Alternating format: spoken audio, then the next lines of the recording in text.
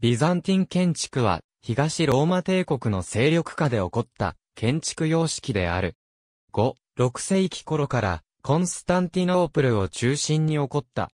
特色は正方形、またはギリシャ十字型の平面、ドーム、金字の華麗なモザイク、大理石の超石などである。日本語ではビザンツ建築と呼ばれる場合もある。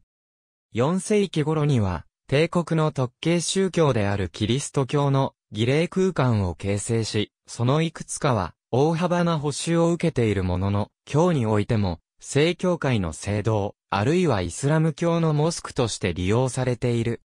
ローマ建築円熟期の優れた工学、技術を継承し、早い段階で技術的成熟に達するが、その後、東ローマ帝国の国力の衰退と流星による影響はあるものの、発展することも、急速に衰退することもなく存続した。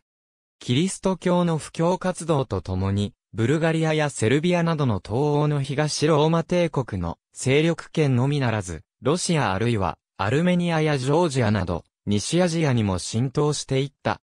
その影響力は、緩やかなもので、地域の広報、技術と融合しながら、独自の様式を発展させた。また、初期のイスラーム建築にも影響を与えている。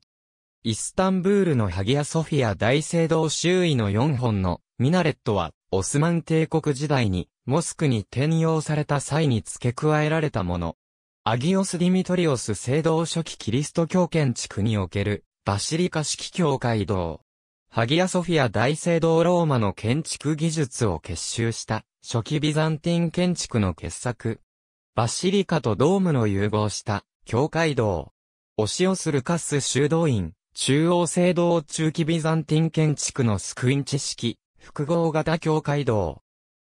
ビザンティン建築を単に時代区分として捉えた場合、コンスタンティヌス大帝が330年に首都ビザンティウムに移転した時から、1453年のオスマン帝国によるローマ帝国滅亡までのほぼ1100年間にも及ぶ時代を指しているが、東ローマ帝国、ビザンツ帝国といった故障が現代の歴史編集によって東方世界に継承されたローマ帝国を便宜上区分しているだけであるのと同様に、ビザンティン建築についても4世紀の時点でローマ建築との様式的、工学的な転換点が明確に存在するわけではない。4世紀から5世紀にかけて、ローマ帝国では国境となったキリスト教の礼拝空間が形成され、今日、これは特に初期キリスト教建築と呼ばれている。キリスト教徒は、教会堂を建設するにあたって、ローマの世俗建築であるバシリカを採用したが、ユスティニアヌス帝の君臨した6世紀に、宗教空間として、より象徴性の高いドームを取り入れた、儀礼空間を創造した。ハギアソフィア大聖堂はその講師であり、バッシリカとドームを融合したキリスト教の礼拝空間はそれまでにない全く新しい形態であった。これはローマ帝国から受け継がれた高度な建築技術によって完成したものであり、初期ビザンティン建築の傑作であるとともに、ローマ建築の技術的な最終到達点であると言える。しかし、イスラム帝国や異民族の侵入による国土の縮小、帝国の政治機構の転換に伴って、ビザンティン建築も変容し、やがて初期ビザンティン建築とは異なった特有の建築形態を獲得するに至った。初期のビザンティン建築が勢力下に張り巡らされた建築材料の流通経路や建設のための高度な思考技術からローマの建築でもあると言えるのに対し、7世紀から9世紀にかけての東ローマ帝国は古代世界とは異なった状況を迎えているため、この暗黒時代をビザンティン建築の一つの分岐点とする指摘もある。中期以降の東ローマ帝国は、地中海貿易の優位性を失い、唯一の大都市コンスタンティノポリスを要する農業国となったため、初期の建築とは必然的に異なる様相を見せる。11世紀初頭には、皇帝バシレオス2世の下で、東ローマ帝国は最盛期を迎えるが、巨大な公共建築物は必要とされなくなり、建設の主流は、貴族や有力者の個人礼拝のための施設に向けられた。これは9世紀まで続いた、製造破壊運動が修道院の独立を促し、修道院の建設、移転、譲渡が裕福な寄進者によって行われるカリスティキアと呼ばれる制度が形成されたことによる。多数の人員を収容する必要がなくなったため、教会堂は小型化し、その結果、それまでのバシリカは放築され、内設十字型と呼ばれるドームをいただく中小規模の教会堂建築が主流となった。9世紀から13世紀までの中期ビザンティン建築にはほとんど変化が見られなかったが、十字軍の侵略による国家の分裂、西ヨーロッパの宮廷とのつながりなどにより、帝国末期の建築には多様性が見られるようになった。帝国に在留する西欧人は自国の建築を移植したため、末期ビザンティン建築にはロマネスク建築やゴシック建築の影響を受けたものも散見されるが、その発展は帝国の滅亡とともに途絶え、東欧諸国の建築にその影響を残すのみとなった。東ローマ帝国では、住宅や宮殿、貯水槽、要塞、橋梁、事前施設などの建造物が作られたことが豊富な文献により明らかであるが、こうした中期以降の世俗建築はほとんど残っていない。また、東ローマ帝国の文書は、細部の説明が不明瞭で、日常生活についての記述がほとんどないため、ビザンティン建築の実情を、はっきりと説明できる、建築物は残存する、教会堂建築に限られる。しかし、東ローマ帝国の人々は、教会建築しか作らなかったわけではない。4世紀から6世紀までの初期ビザンティン建築は、末期ローマ建築の要素と、初期キリスト教建築が混在しているが、両者の明確な区別は、ほとんど不可能である。また、この時代の宮殿、住居などの世俗建築は、図版や文献も含めて、あまり残っておらず、これについての記述は、今後の発掘、研究を待たねばならない。一方で、今日、初期キリスト教建築と呼ばれる建築群については、原型のまま残っているものはないものの、文献や遺構の調査によってその全貌が知られている。初期キリスト教建築、サンタポリナーレインクラッセ聖堂典型的なバシリカ平面の教会堂内部。高窓のある新楼とそれより低い側楼からなる。黎明期のキリスト教は美術に対して敵対的で、独自の宗教美術は持たず、文献などから宗教行事は比較的大きな個人邸宅を借用していたと考えられている。しかし、不況地域が拡大するにつれて、宗教美術も発展し始め、4世紀前半には、ローマの神々を祀る、異教礼拝堂を思わせないバシリカを採用することで、礼拝空間を確立した。ローマ建築におけるバシリカはそもそも礼拝を目的とした建築ではなかったが、キリスト教の宗教儀礼は、一般信徒と司祭が参加する、集会的形態であったため、宗教空間としては、有効に機能したと推察されている。ただし、これは、キリスト教独自の活動ではなく、ユダヤ教やミトラ教も同様で、ロンドンのクイーンビクトリアストリートに存在する、ミトラ教寺院の遺構などもバシリカ式神殿である、ことが知られている。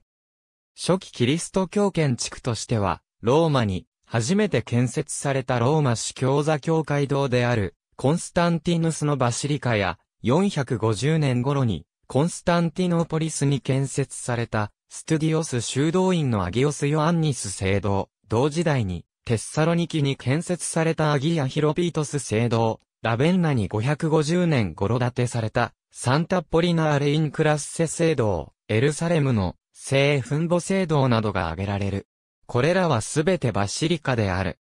バシリカは、キリスト教の儀礼空間としての必要性から採用されたというよりも、むしろ建設が容易で比較的自由に大きさを決めることができ、装飾によって神聖な空間を得やすく、儀礼空間として融通が効くという実際的な理由から大量生産されたと考えられている。サンビターレ聖堂聖オイタリスの綺麗拝堂。八角形の集中式平面を持った教会堂の一つ。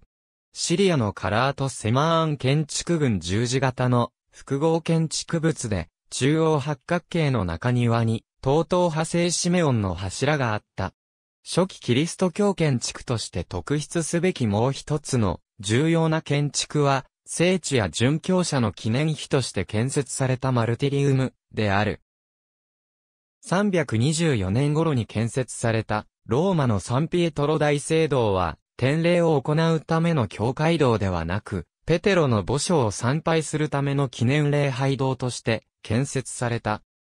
333年頃に寄港された。ベツレヘムの聖光誕教会やキリストが弟子たちに説法を行ったとされる洞窟を収容した。エレオナ教会礼拝堂、ラベンナのサンビターレ聖堂、5世紀中期に建設された。テッサロニキのアギオス・ディミトリオス聖堂などの建築はすべて。マルティリウムであるが、崇拝の対象物や敷地の形状に従わなければならなかったため、バッシリカ、八角堂、十字型など様々な形式で作られた。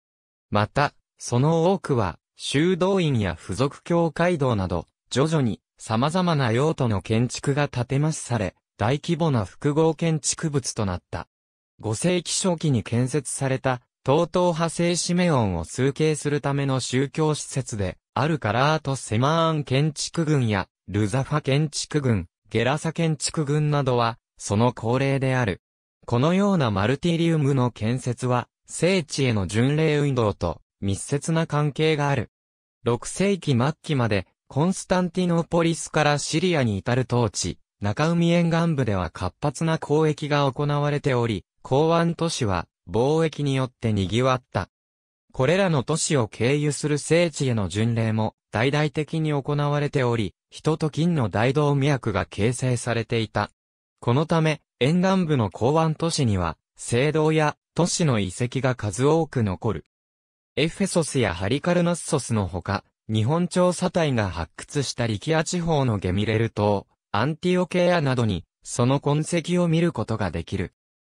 アンティオケアやカラート・セマーンなどの巨大宗教施設は、5世紀末から急速に繁栄した北シリアの経済発展がもたらしたものであるが、5世紀末から6世紀初頭のキリスト教建築は、地域の独自性というものも見過ごすことのできない大きな潮流となっていた。これは、地域の経済活動と修道院主義の結びつきや、帝国の地政学的要因、あるいは神学論争と関連する。特に、隔たりを大きくしたキリスト教各派の神学論争は、地域性に深い影響を与えており、カラーとセマーンのように皇帝の経済援助を受ける、修道院は別として、この当時のシリア、エジプトの教会建築は、コンスタンティノポリスの影響をほとんど受けることがなかった。このような建築的特徴は、異端とされた単性論協会の活動と、シリア語、コプト語の成立とともに、民族主義的傾向の一端として、しばしば参照される。ユスティニアヌス帝時代の建設事業ハギア・ソフィア、大聖堂ドームをいただく、集中式平面と側廊を持つ、バシリカ平面の融合プランを持つ。キリスト教礼拝空間の転換点となったことでも、重要な建築物。ハギアエレーネー聖堂、円蓋式バシリカ平面の教会堂。ユスティニアヌス帝時代に形成された形態の一つ。553年から始まるユスティニアヌス帝の時代は、初期ビザンティン建築の敗退期であり、コンスタンティノポリスのハギアソフィア大聖堂、その先駆的建築と伝えられているハギー・セルギオスケ、バッコス聖堂、アギオス・ポリエウクトス聖堂といった偉大なキリスト教建築物が建設された。これら首都の教会堂は、皇帝による事業という境遇や、その大きさから言って、各地で兄に模倣されるものではなく、プランについても当時としては、かなり大胆なもので、当時のビザンティン建築の一般会と呼べるものではない。各地では、やはりバシリカ型の教会堂が継続して建設され、続けていた。しかし、ユスティニアヌスの時代に建設された教会堂には以下に挙げるような後にビザンティン建築では、一般的となる特徴が認められる。ユスティニアヌスの時代は、ベリサリウスに仕えた、歴史家プロコピオスの著作から、初期キリスト教建築以外の世俗建築についての情報が得られている。これによると、ユスティニアヌスの建築に対する主眼は、あらゆる意味での国家防衛政策にあり、アナスタシウス一世から引き継いだ国境線の防壁補強事業に注がれているという点が指摘されている。コンスタンティノポリスは、すでにテオドシウスの城壁によって十分に拡張されていたが、ユスティニアヌスは国境の防衛を図るため、地方都市の城壁を首都に倣って増強した。ユスティアナ・プリマや、セルギオポリス、ゼノビア、アインタプといった市街には、難攻不落の城塞が建設され、意図的に破壊されていないものは、現在でもその姿を目にすることができる。ユスティニアヌスにより、市内山に燃える芝を記念して建設された萩や、エカテリニ修道院も、帝国外民族の侵入を防ぐための防衛屯所であり、防壁に囲まれた武装修道院として設立された。システルナ・バシリカ観光名所となっている地下貯水槽。天井を支える柱は長さも様式もまちまちである。東ローマ帝国の給水設備についてはあまりよくわかっていないが、ユスティニアヌスの時代に二つの大貯水槽が作られたことが知られている。一つは今日、地下宮殿と呼ばれる138メートル65メートルにも及ぶシステルナバシリカで1列12本の列柱を28列備えたものである。柱はアカンサス中東を備えた一見豪華なものもあるが、これは5世紀に流行した方で、当時石膏が持っていた在庫品を処分したものであるとの見方が有力である。もう一つは、1001本の円柱宮殿と呼ばれるフィロクセノス貯水槽である。こちらは、インポスト中東を用いた64メートル56メートル貯槽であるが、構造は2本の円柱を上下に連結した大胆なもので、天井から床までの高さは15メートルにも達する。このような危険な構造を採用したのは、15メートル近い柱を調達するよりもコストと手間が省けるからである。ユスティニアヌス時代の建築は、ビザンティン建築の始まりであるとともに、世界帝国ローマの、そしてローマ建築の技術的可能性の最終局面であると言える。以後のビザンティン建築は、この時代の技術革新によってもたらされた要素を継承していくが、工学的な面において、これを発展させていくことはなかった。テッサロニキのハギアソフィア聖堂6世紀から9世紀の過渡期の建築である、円外式バシリカ。アルメニアズバルトノッツ教会堂外壁は円筒形であるがその内部に四葉型の内陣がある特殊な形式の教会堂。600年前後に始まる暗黒時代は東ローマ帝国の建築活動に完全な停滞をもたらした。東ローマ帝国の勢力範囲はその大部分が、ウマイヤ朝や他民族によって、侵略を受け、センペストの流行と、干ばつ、地震被害による人口の減少により、都市生活は破壊された。これらの地域で今日まで残る初期ビザンティン建築は、ほとんどないが、小アジア一帯では、東ローマ帝国の領土と経済が復興した際に、廃墟となった聖堂の新郎及び側廊が近隣住民の墓地として利用された。コンスタンティノポリスやテッサロニキ、モネンバシやアテナイなど、イスラームの侵略を跳ねのけた地域もあったが、地方都市で都市生活を営むことができたかどうかは疑問であり、新たな境界道の建設は行われなかったか、あるいは行われたとしても、思考制度の悪いものであったと考えられる。この時期に建設された建物の詳しい年代や、建設意図の大部分は、資料が少なく、よくわかっていない。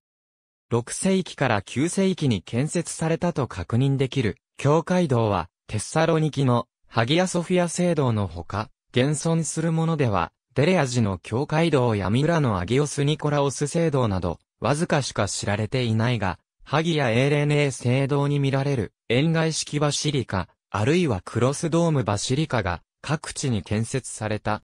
この形式は6世紀から9世紀にかけてのビザンティン建築の過渡期を特徴づけるものと考えられている。暗黒時代のビザンティン建築はイスラームに包囲されて疲弊した首都に援軍として迎えられたアルメニア人やグルジア人によって保持された。彼らは常に独自性を保ちながら、東ローマ帝国の文化を取り入れ、帝国が暗時代に突入する、まさにその時期に芸術の最盛期を迎えた。アルメニアの教会建築は5世紀頃にまで遡り、初期にはトンネルボールトを用いたバシリカを採用した。しかし、6世紀末にはバシリカは作られなくなり、代わって、ドームを持つ集中形式が好まれるようになった。7世紀に、東方キリスト教を主導するに至った頃には、三葉型と、四つ葉型、八角道型、円筒形の四葉型、内接十字型の四つの形式が発展する。これらはアルメニアにおいて発展した形跡がなく、メソポタミアから北、シリアに至る東方の形式を取り入れたものと考えられるが、これらの地域の教会建築が全く残っていないため、どのような形で、それがアルメニア建築の中に取り入れられたのかは分かっていない。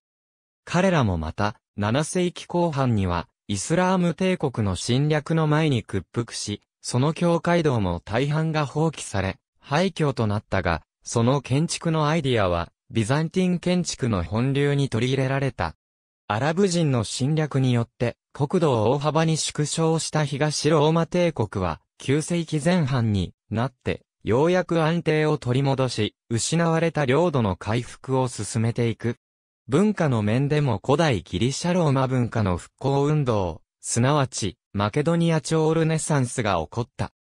この帝国の建築活動が7世紀頃まで変遷過程にあったこと、その後、内接十字型と呼ばれる独自の建築平面を獲得したことを考慮し、7世紀以降から9世紀にかけての東ローマ帝国の建築がビザンティン建築の始まりと考えることもできるとの指摘もある。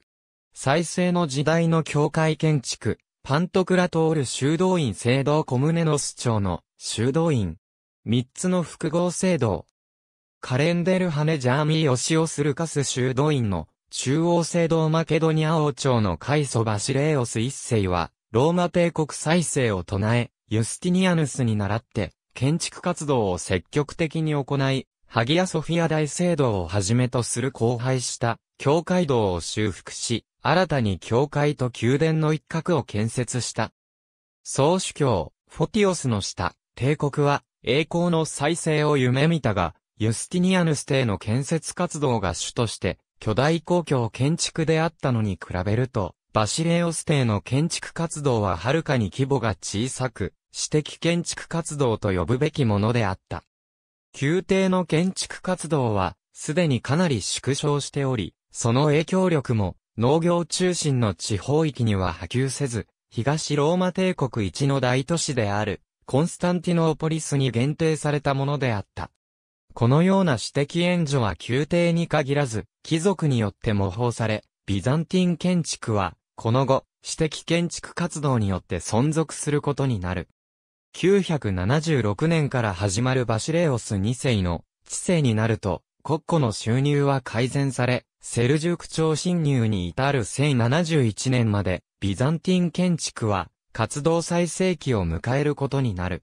バシレオス2世は厳格な軍人皇帝であったため、その偉業にもかかわらず、彼の命による建築は現在まで発見されていない。皮肉にも、中期ビザンティン建築の革新は、彼の後継者たちの散財によってもたらされた。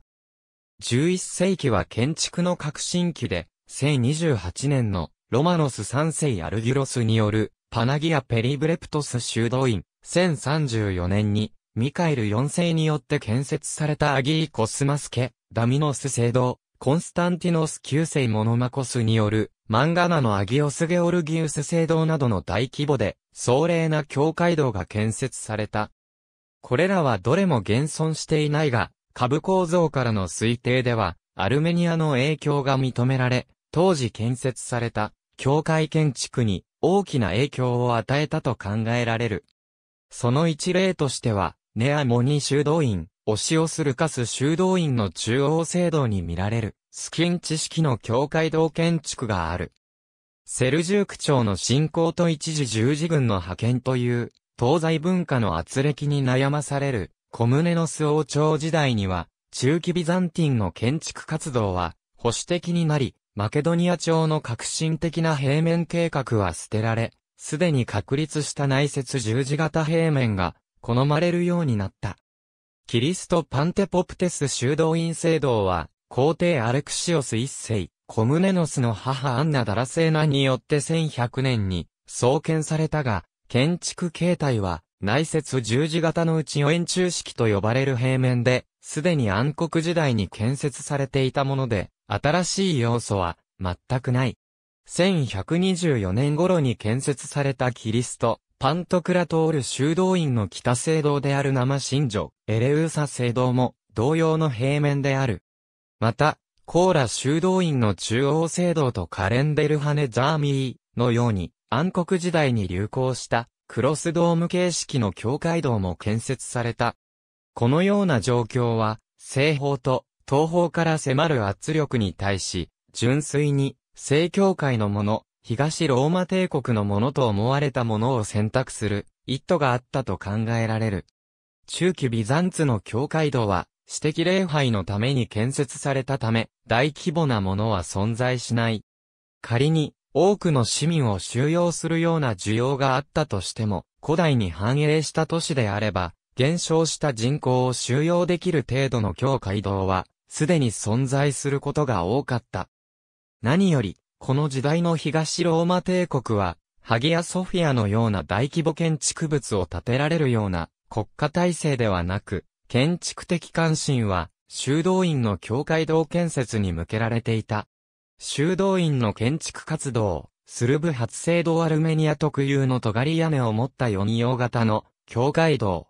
パナギア・ハルケオン聖堂内設十字型教会堂。軒下の犬派飾りなど、外部装飾に対する意識が見られる。修道院の建設は中期ビザンティン建築の主たる特徴である。カルケドン公会議に、司教の監督下に置かれた各修道院は、製造破壊運動の迫害を忌避して、その管理下から逃れ、10世紀頃までには、かなりの独自性を持つようになっていた。スラブ人やブルガリア帝国から奪還されたバルカン半島では、961年に聖アナスタシウスがラブラ修道院を建設した後、ギリシャ正教最高の聖地となったアトス山の修道院やフォキスにあるオシオス・ルカス修道院、ヒオス島のネアモニ修道院など、多くの修道院が建設されている。修道院は様々な建築の複合体であり、中央境界道を残して、その他の施設が消滅している場合もあるが、今日に至るまで残存しているものも多い。また、都市人口の減少による空地の拡大に伴って、都市に開設される修道院も認められるようになる。このような修道院は一部の裕福層からの寄進によって建設されたものも少なくなく、寄進者らに施設そのものを不動産して、譲渡、売却することも行われた。コンスタンティノポリスでは、貴族出身のコンスタンティノスリプスによって建てられた、修道院北教会堂が挙げられる。907年に創建された、教会堂はそれほど大きなものではないが、剣道式に、皇帝も列席するほど壮麗な建築で、大量の彫刻装飾と大理石の造岩、釉薬タイルによって装飾されていた。コンスタンティノポリスのその他の修道院としては、ロマノス・レカペノス提督のミュレレオン修道院、中央聖堂、イサキオス・コムネノスによる、コーラ修道院中央聖堂などが挙げられる。地方都市では、テッサロニキのパナギア・ハルケオン聖堂、スクリプーのコイメシス聖堂などで、貴族の寄進による修道院建設を見ることができる。貴族の寄進に頼るこれら、中期ビザンティンの教会堂建築に大規模なものは存在しないが、その代わりに外部空間はかなり意識されるようになったようである。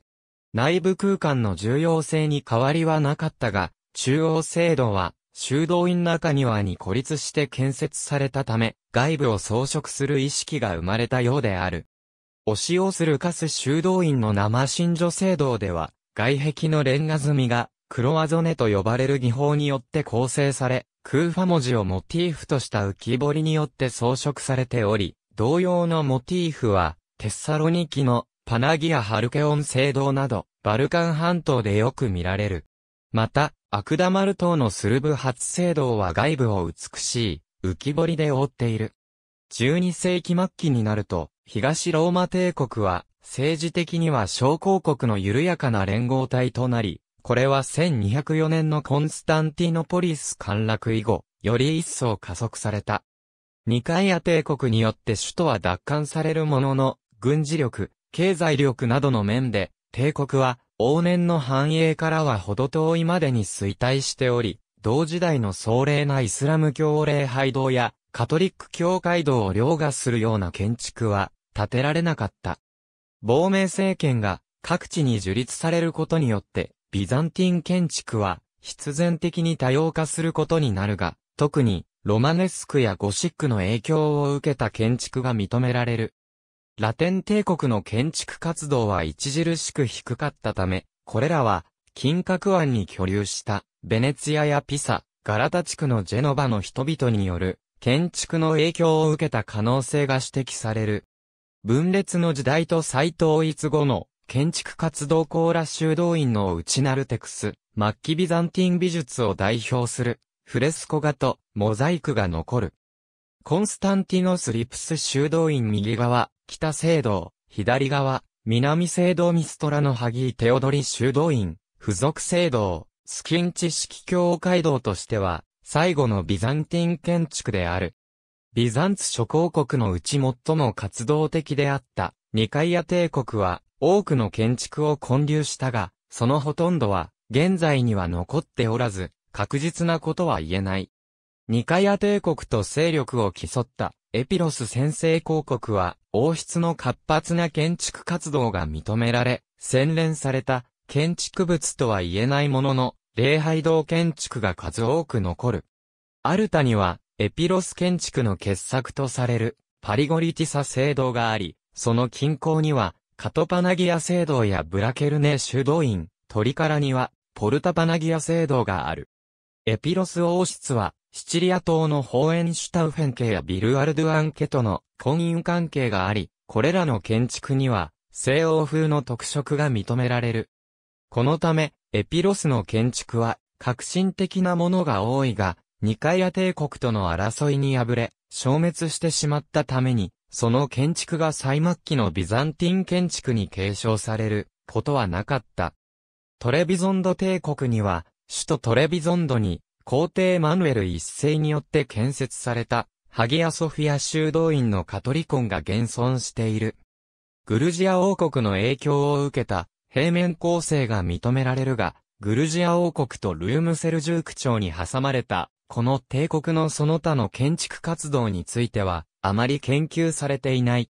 1261年のニカヤ帝国による、コンスタンティノポリス奪回後、コンスタンティノポリスでは、ビザンティン文化の最後の花が開花した。いわゆる、パレオロゴス朝ルネサンスである。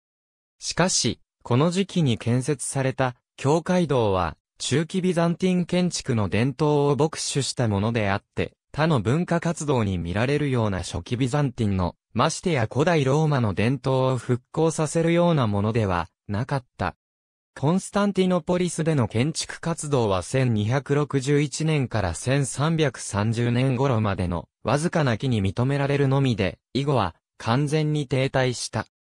ミカエル8世の皇妃、テオドラの開設したコンスタンティノスリプス修道院、南聖堂は1280年代の建立と思われ、既存の北聖堂を拡張するように建設された、円外式バシリカに近い聖堂である。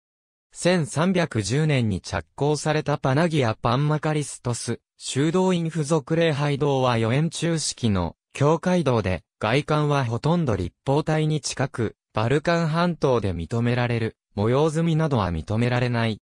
これらの聖堂は、ほとんどが単純な区形面であり、外部のデザインを優先して、ドームを多くかつ高く設計しているため、内部空間には広がりがなく、井戸の底にいるかのような印象を受ける。そして、おそらく他のよく残存している、境界道と同じく、内部は説話に基づく絵画で覆われていた。1316年に寄港したコーラ修道院は、政治家、テオドロス・メトキテスによって、既存の境界道を改築したものである。建築的に見るべきものは何もないが、内部のフレスコ画は、末期ビザンティン美術の傑作と言われている。コーラ修道院に代表される、パレオロゴス朝の壁画では、写実性の向上と、初歩的ではあるものの遠近法の発達が認められ、これが後に、西洋のルネサンスにつながるとされるゆえんとなっている。パレオロゴス朝の巫女たちが封じられた、モレアス先生公領の主婦が置かれ、ペロポネソス半島を実行支配した、ミストラ城塞都市は、現在では完全な廃墟であるが、末期ビザンティンの都市景観を最もよく残している。ミストラの宮廷は、周囲のフランク諸公国との婚姻関係もあったため、宮殿建築には西欧風の要素が認められる。ミストラ宮殿は1250年頃から1350年頃、1400年頃、1460年頃の3期に渡って建設され、その構造体には、戦闘アーチの窓、リブ・ボールトといったゴシック建築の要素が散見する。宮殿の内部装飾が残っていないため明確ではないが、全体としては、ビザンティン建築の伝統ではなく、西洋の宮殿建築の影響の方が、むしろ強い。末期東ローマ帝国時代に建設された、修道院としては、聖アタナシオスの創建したメテオラがある。最も古いパパンティ修道院は1366年に建設され、1388年には、メテオラ最大となる、メガロメテオロンが建立された。東ローマ帝国滅亡後も、14世紀から18世紀にかけて、さらに5つの修道院が建設されている。末期ビザンティン建築の特徴ポリフィロゲニトゥス、宮殿北側正面のポーティコハギアエカテリーニ、聖堂ポーティコのある、シューホロー末期ビザンティン建築も、建築的関心は、修道院建築にあったが、そのほとんどは既存教街道の増築、改築であった。この際、外部にナルテクスカ礼拝に供された通路上の建物が回され、ポーティコ付きの正面を形成することが多く、この形状は、ベネツィアからもたらされたのではないかとの指摘がある。ポーティコ付けファサードは、教会堂以上に住居建築に採用され、コンスタンティノポリスのポリフィロゲニトゥス宮殿にもこの形状が認められる。12世紀後期と考えられる。この宮殿は3階建てでテオドシウス2世の城壁の間に建設され、中庭に面した北側と城壁に連続する南側にポーティコ付け正面が認められる。テッサロニキはパレオロゴス朝初期に繁栄し始め、首都での停滞期の間も修道院に付随する建築活動が活発に行われた。そのため、末期のビザンティン建築を知る上で重要な建築物がいくつか残っている。1315年創建されたハギーアポストリ、教会堂、同時代か、それより早い時期に建てられたと思われるハギアエカテリーニ、教会堂は、共に、典型的な余円中式内設十字型の教会堂であるが、三面がドームをいただく、吹き放しのポーティコ上廊下で囲われ、その様子見にドームをかけている。教会建築における、このような周フォローの機能は、はっきりせず、首都では墓所に使われたようであるが、テッサロニキでは、そのような機能は認められない。1262年に、東ローマ帝国に移譲された、ミストラには、ミストラ型と呼ばれる、教会道が建設されている。パナギア・オディギトリア聖堂は、ブロントシオン修道院の中央聖堂として使われ、その後、ミストラに建設された教会の模範となった、ミストラ型の最初のモデルで、1階は、円外式バシリカ平面を持つが、2階は、内接十字型平面を持つ特殊な形式である。13世紀に、バシリカとして建設されたアギオス・ディミトリオス聖堂は、15世紀にミストラ型として改修された。ハギア・エレーネー聖堂ビザンティン建築は、ユスティニアヌス一世の時代における宮廷の建設事業によって急速に開花した。この時代の建築事情は、プロコピオスの建築についてや現存する建築物、ハギア・ソフィア大聖堂やハギー・セルギオスケバッコス聖堂、ハギア・エーレネー聖堂などによって知られる。アーキットレーブや中東に掘り込まれた植物装飾によって構造体からの独立性を強調するような特徴的な細部のデザインもこの時代に確立されたものである。バシリカ型の境界道では、新郎と側廊を分離するために独立円柱が一定の役割を果たしていたが、ドームとバッシリカのプランが融合されるに従って、構造体としての役割は拡中に変わり、オーダーはそこに付け足された装飾の一部としてしか機能しなくなった。ギリシア起源であるにもかかわらず、中期以降のビザンティン建築では、オーダーはほとんど消滅することになる。ビザンティン建築には多様なプランが認められるが、以下の形式はすべて境界道に関してのものである。世俗建築が、いかなる形式で、いかなる機能を有したものであったかは、初期の段階では、ローマ建築とほとんど、違いがないということ以外は分かっていない。これは、ビザンティンの俗建築が、ミストラ以外には、あまり残っていないことによる。ミストラの建築も多くは、フランク人によって建設されたもので、これを、ビザンティンの世俗建築一般とみなすことは難しい。バシリカすでに初期ビザンティン建築の項で説明した通り、初期のキリスト教徒は礼拝用建築物のひな形としてローマ建築のバシリカを採用した。このタイプの教会堂は長期間にわたって広い地域で建設され続けた。いくつかの種類が認められ、代表的なものとして、新郎に高窓を持ち、木造小屋組の屋根がかけられる、ヘレニスティックタイプと呼ばれるバシリカがある。ラベンナのサンタポリナーレインクラッセ聖堂や、サンタポリナーレネオボ聖堂などがこれにあたる。大規模なものになると、旧サンピエトロ大聖堂、ルーマニアのトロパイウム、アギオス・デメトリオス聖堂、ピリッポイのバシリカビーなどのように、トランセプトを構成するものもある。ビザンティン建築のバシリカ式として、最も一般的なタイプは、新楼部分にトンネルボールトをかけた側廊のない、いわゆる単楼式バシリカで、オリエンタルタイプと呼ばれ、12世紀に至るまで、建設され続けた。これは、アルメニアの初期キリスト教建築などを起源とし、カッパドキアの岩窟修道院はこの流れを組んでいる。円外式バシリカ及びクロスドームハギア、ソフィア大聖堂やハギアエレーネー聖堂で、試みられたような、バシリカとドームを融合する形式は古代ローマの世俗建築において、すでに確立されていたが、ビザンティン建築の歴史の中で、一般的形態として確立されるのは6世紀頃である。コンスタンティノポリスのハギアエレーネー聖堂内部、円外式バシリカの代表的な教会堂。ティンパヌムは、ドームを支える角柱の外側に取り付けられているが、側廊と新廊を分けるアーケードは、角柱の内側に据えられている。このため、側廊と新廊を隔てるアーケードが、空間の中で浮いている。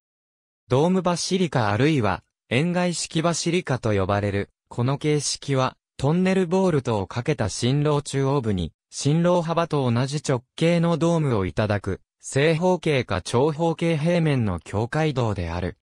側廊に据えた大きな角柱にアーチをかけ、境界道の短手方向で、新廊を横断するアーチはそのまま滑らかに、トンネルボールトに連続するか、アーチが突出する。長手方向のアーチ下部は、ティンパヌムを構成し、開口部が設けられる。平面は、単廊式か三廊式である。ハギアソフィア大聖堂、及びハギアエーレーネー聖堂は、基本的にこの形式である。円外式バシリカには、クロスイコールドームバシリカと呼ばれる、新楼部分が、ギリシア十字平面に近い形式になったものもある。ハギアソフィア大聖堂では、新楼と側楼を分けるアーケードとティンパヌムが、四隅に設けられた角柱の内側に設けられているため、角柱は側廊に隠され、南北のアーチは内部には露出していない。しかし、中小規模の境界道で同様の形状にすると、新郎がかなり狭苦しく、空間の広がりを保つことができない。クロスイコールドームバシリカは、ティンパヌムとアーケードを角柱の外側に構成することによって、新郎内部に広がりを持たせたものである。この場合、やや奥行きの深いアーチを持つ空間が、短手方向にも伸びるため、新郎は十字型の平面となる。ビザンティン様式が発展した東ローマ帝国には、ローマンカトリックとは異なり、現在のギリシア正教やロシア正教と呼ばれる東方教会が広まっていた。東方教会は神の表現について極めて厳格であり、天国の断層序列はイエスを最上位として、次にマリア、ついで大天使ミカエルとガブリエル、福音師や使徒たち、旧約の預言者、聖者、初期キリスト教時代の恐怖の順に定められていた。また、初期キリスト教のバシリカ式教会堂のアプス上の半ドームの象徴的意味がますます強く意識されることとなっていき、東方教会のドーム構造が重要な要素となっていった。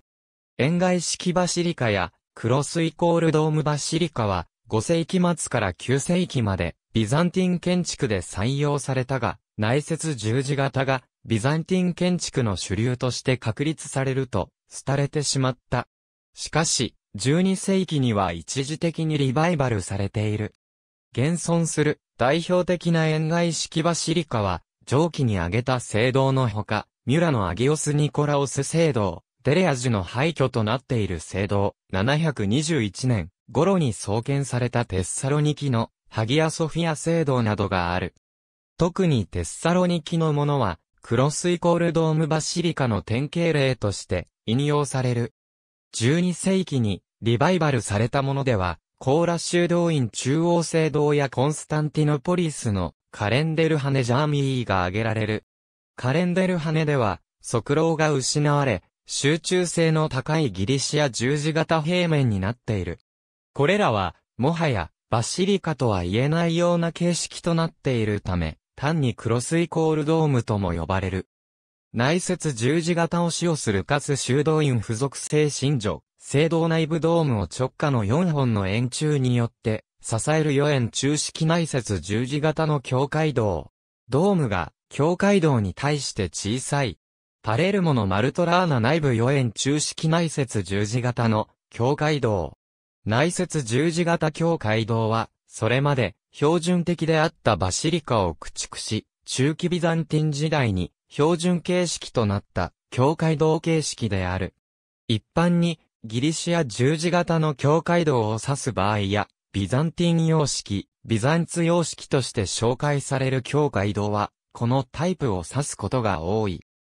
正方形平面の中に、ギリシア十字型の新郎、袖廊を内包しており、中央部に、ペンデンティブを備えたドームを支持する円柱、またはピアがある。円柱2本と内壁によって、ドームを支えるものは2円柱式境界道。ドームの荷重を4本の円柱で保持するものは4円、中式境界道と呼ばれるが、後者の方が一般的な形式である。4円中式境界道には、さらに新郎とアプスの間に、米が差し込まれる形式と、追加米がないものに分けられる。おおむね2円中式は、ベルカン半島南部に、4円中式で追加米のないものはセルビアからイタリア半島南部に限られ、追加米のある二円中式はビザンティン文化圏の広い範囲にわたって認められる。内接十字型境界道の起源は明確ではないが、ビザンティン建築においてこの形式が導入されたのは8世紀末から9世紀頃である。経済が復興した9世紀後半以降、多くの境界道が内接十字型で建設されている。コンスタンティノポリスでは、バシレイオス一世が880年に建造したネア聖堂が文献の記述からおそらくこの形式で作られたと推定されている。現在にも残る修道院の聖堂としては2円中式教会堂としてマニにあるアギオス・ストラテゴス聖堂、ミストラのペリブレプトス修道院付属聖堂などがある。四円中式教会堂は数多く残っているが、主なものを挙げると、10世紀中期に建設されたオシオス、ルカス修道院の生信女聖堂のほか、1028年に建設されたパナギア・ハルケオン聖堂、1100年、建設されたキリスト・パンテポプテス修道院、中央聖堂、12世紀初期に建設されたパントクラトール修道院の南北両聖堂がある。また、ビザンティン建築ではないが、サンピエトロ大聖堂についても、ドナト・ブラマンテによる最初の計画は内節十字型と言って良い平面の教会堂であった。内節十字型は東ローマ帝国の職人たちが円柱の上に3.5メートル以上の幅のアーチをかけることを忌避したため、その構造から小規模の境界道にしか適用できず、内部空間がほとんど単一となる。バシリカのように空間を、新郎、側廊に分けることができないため、必然的に集中性の高い性格の建築物となっている。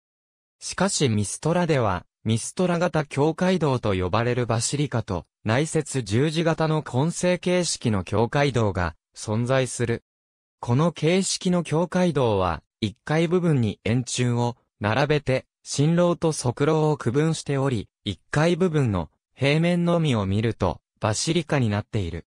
しかし、二階になると角柱を設けて、内節十字型の平面を構成しており、内部の印象はハギアエーレンエー聖堂に近いものとなっている。スクインチ式、ヒオス島のネアモニ修道院中央聖堂、スクインチ式聖堂の例。西側にナルテクス、東側にアプスのある単純型の形式。スクインチ式教会堂は中期ビザンティン時代に形成されたもので、平面形態ではないが、内節十字型と並び、ビザンティン建築の主要な形式の一つである。正方形平面の四隅に設けたスクインチが形成する八角形平面の上に、鼓銅壁付きのドームをかけたものを大もやとする、境界道形式である。内節十字型では、ドームの直径は、最大でも4メートル程度のものしか作れないと考えられていたようであるが、スキンチ式境界道のドームは、これよりも大きい直径8メートル程度のドームをかけることができる。東にアプス、西にナルテクスを構成する単純型と南北に付属室のある複合型がある。前者の形式として、1042年に建設されたメア、モニ修道院中央聖堂、1090年に建設されたキプロスのクリソストモス修道院中央聖堂がある。後者の代表的な例としては、11世紀初期に建設されたと推定される推しをするカス修道院、中央聖堂、11世紀末と考えられる、アテネ近郊のダフニ修道院中央聖堂、ミストラのアギーテオドリ聖堂がある。東ローマ帝国の多くの都市は、ローマ帝国の時代から継承されたものである。ローマ帝国の混乱によって、3世紀後半から4世紀にかけて、ローマ時代の都市は広範囲に衰退したが、5世紀から6世紀になると、東ローマ帝国の勢力範囲内では、経済が再生し、これに伴って、建築活動も盛んになった。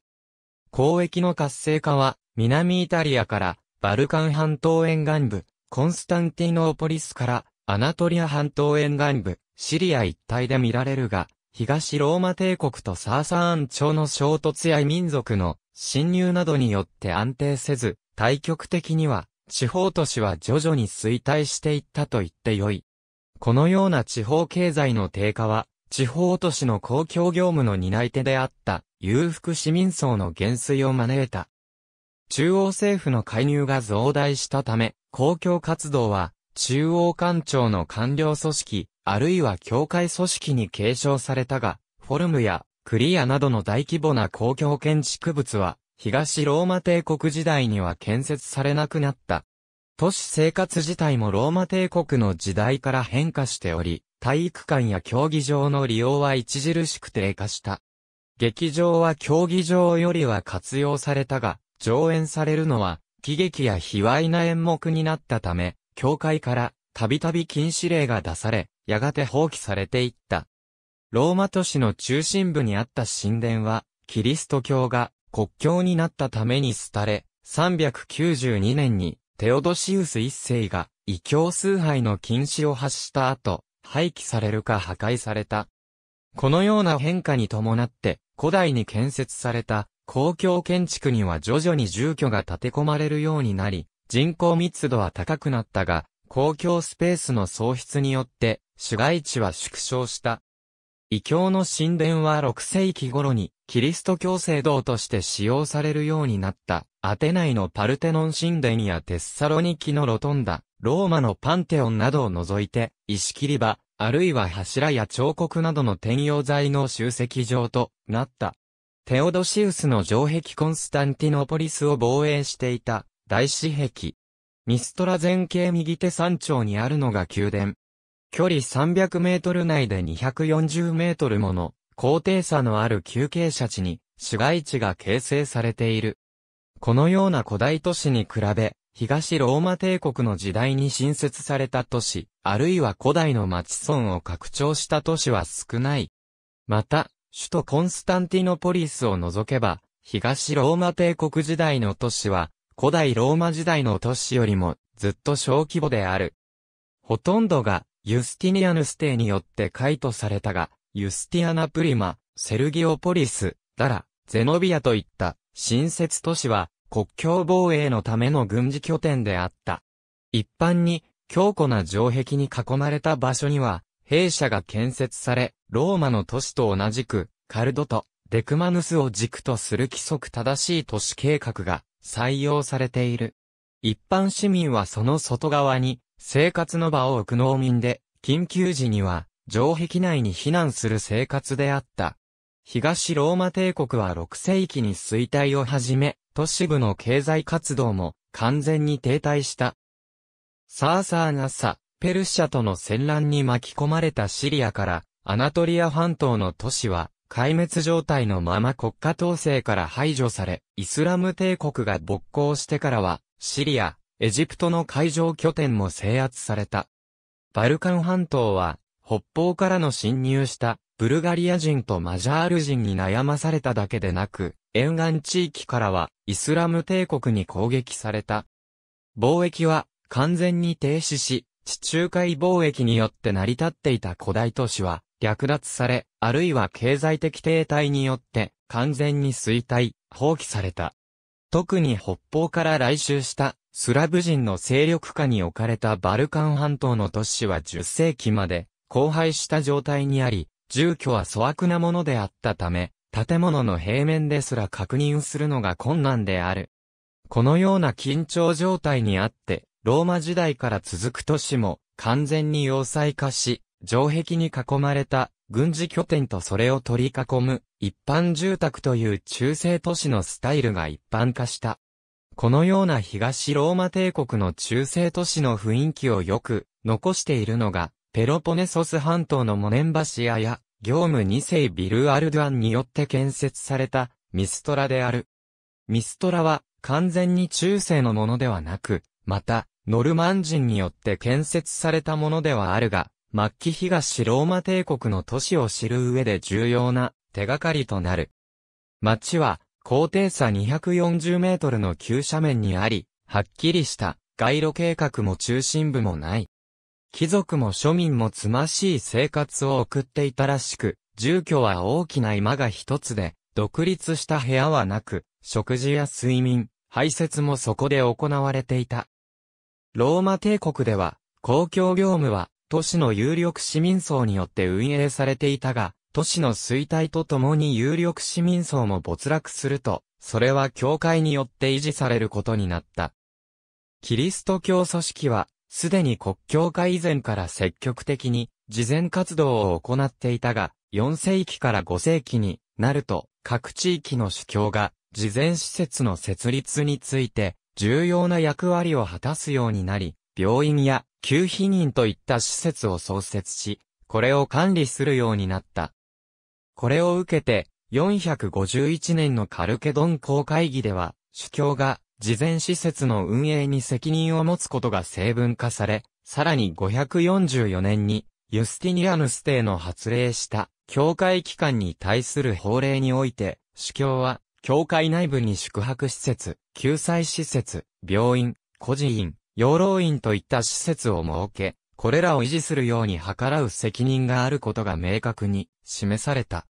さらに、事前施設は、設置する基準として、その運営能力を証明する必要性があったが、活動は事前目的に限られており、これを逸脱するような場合、主教は運営に介入する権限を有することも記載されている。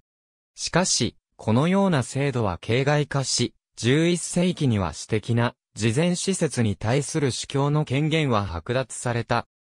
どの時点から主教の権限の低下が始まったのかは、資料が少ないため不明瞭であるが、少なくとも9世紀には、制度の変節が認められ、中世東ローマ帝国時代になると、裕福層の寄進によって設立された修道院の事前施設は、国家や教会権力から独立した事業として認識されている。皇帝が私的に設立した修道院ですら、皇帝自身の私有財産とみなされ、必要な収入が確保できるように、資産管理が行われていた。皇帝ロマノス一世レカペノスの設立したミュレレオン修道院やヨハネス二世、コムネノスの設立したパントクラトール修道院がその代表的な例である。パントクラトール修道院は1118年から1124年にかけてヨハネス二世コムネノスによって建設された南側のパントクラトール聖堂と1136年以前にコムネノス家の墓所として建設された中央部のアギオスミハイル聖堂、そして北側のエウレーサ聖堂の三つの聖堂からなるが、これに今日では残っていない。コンスタンティノポリスの病人を収容する病院と養老施設が付属した複合建築物であった。パントクラトールクセノンは規模が大きく、またその運営を記した記述書や当時の歴史家、ニケタス・コニアテスの著作によってその実態を推測することができる。パントクラトールの病院は外科的治療、目、腸などの疾患治療、女性患者の治療、その他の5部門に分かれ、専門の医師、助手、補助員、女性スタッフらが常駐する。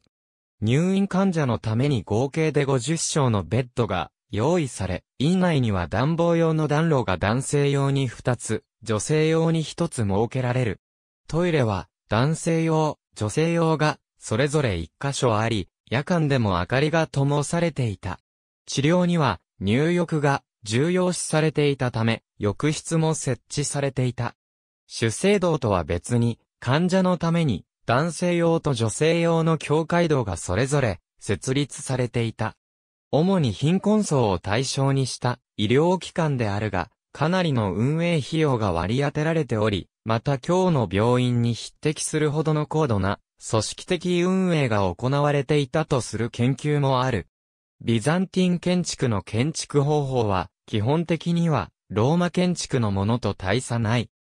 各地の建築工房において、荒石像とレンガ作りを交互に使用する工法が確立されていたため、時代の推移に関わらずビザンティン建築の思考は常に安定していたようである。大まかに、シリア、パレスティナ、アルメニアやジョージアなどの切り石構造と、その他の地域のレンガ、荒石構造とに分けられる。ビザンティン建築において、最もポピュラーなのは、校舎で、長方形の石材を、型枠として積み上げ、その内部に、モルタルと荒石を流し込み、ついでレンガを5段程度積層し、さらに石材を積み上げ、モルタルを流し込むことを繰り返すことによって、外壁を形成した。ほとんどの場合、外壁には、漆喰やモルタルが塗られなかったため、この石材とレンガの交互の配列は水平方向の縞模様となって、ビザンティン建築の外部の色彩的な特徴となっている。この建築方法は、初期の時代から11世紀頃に至るまで、全く変化しておらず、建築工法による建築物の時代特定を困難なものにしている。古代ローマで用いられたローマンコンクリートはポッツォラーナによって均質な凝固性を示すが、ビザンティンで用いられるモルタルは小石灰と砂によるもので、ローマンコンクリートほどの耐久性を示していない。また、石灰によるモルタルは硬化した後に風雨にさらされると分解するため、構造体は石材などの外装を付与する必要性があった。さらに、壁の仕上げと一体化したレンガのモルタル埋地は、建築コストを下げるために徐々に多量に用いられる傾向にあり、モルタル硬化時の乾燥収縮によって建築物の精度は低下した。ハギアソフィア大聖堂のような大規模建築物にとっては、このような建物の歪みは致命的欠陥であり、事実、最初にかけられたドームは建築途中においてもすでに湾曲し、その結果、わずか20年で崩壊した。再建には、大聖堂そのものの建設と同程度の時間を要している。崩壊の原因はドームを支える支柱の傾斜が原因であったが、この垂直傾斜は今日でもそのまま残っている。ここでは、すべて現存するか、あるいは、上部構造がほとんど残っている、建築物を挙げている。ビザンティン建築を代表するものであっても、基礎構造しか残っていないもの、内部空間を把握できないものは、対象としていない。括弧内は、建築物のある都市、建設された年代、現と表示しているものは、現在の名称。アヒロピートス聖堂フィロクセノス貯水槽、ミュレレオン修道院の中央聖堂聖パンテレーモン、大聖堂アテネのアギーアポストリ、聖堂メタモルフォシス修道院、中央聖堂日本聖教会のニコライ堂。日本最大のビザンティン建築による大聖堂。ヨーロッパアジアアフリカ。ありがとうございます。